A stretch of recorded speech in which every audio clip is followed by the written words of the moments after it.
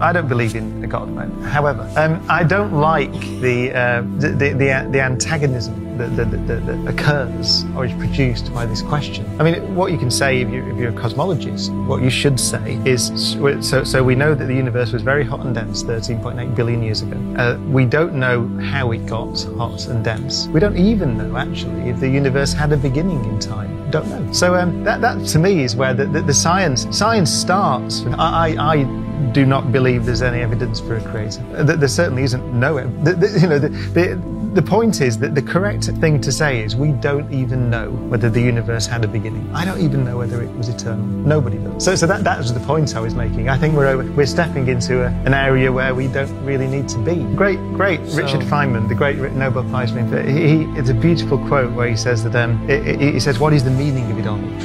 and he said, uh, and he says, in the end, we have to admit that we do not know. But in admitting that, we may have found the open channel. That's the key to science. We don't know.